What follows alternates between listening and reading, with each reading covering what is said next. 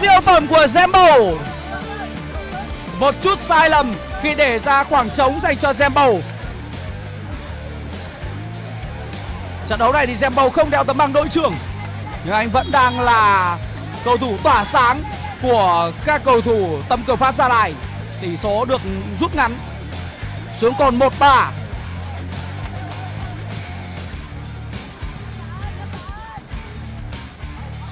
Quang Phở. Lướt lên rất nhanh của Văn Trường. Thể gió, Văn Trường! Bàn thắng đầu tiên của Văn Trường tại giải đấu này.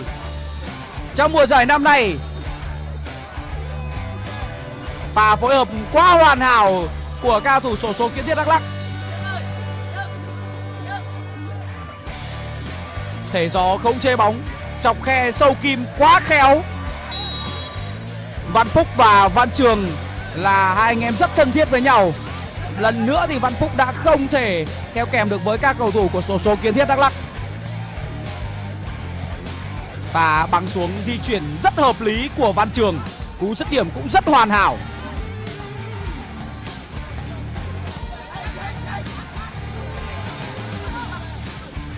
Người đã mở điểm ở trong trận đấu ngày hôm nay bên phía đội bóng vàng.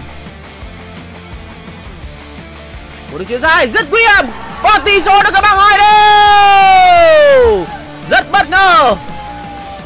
Đó là một tình huống chuyền dài và cầu thủ bên phía bê tông 26 Gia Lai đã chọn vị trí rất tốt.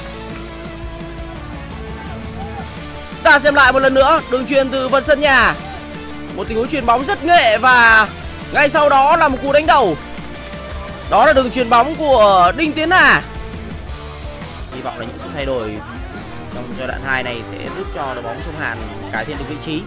Và bây giờ sẽ là cơ hội dành cho cao thủ áo xanh căng ngang và tỷ số là 1-0 Một pha phối hợp rất đẹp mắt đến từ cao thủ anh em anh em GFDI sông Hàn. Đội bóng tạo ra cơ hội nguy hiểm nhiều hơn, Nhưng là lại là đội bóng để thùng lưới trước. Vừa rồi đó là tình huống dứt điểm đến từ Văn Hùng. Cú đá, một pha phối hợp. Tiếp tục là các thủ áo đỏ. Vương Ramos. Rất đông các thủ áo đỏ đang có mặt phần sân của GFBI Sông Hàn. Cơ hội Dứt điểm. Goal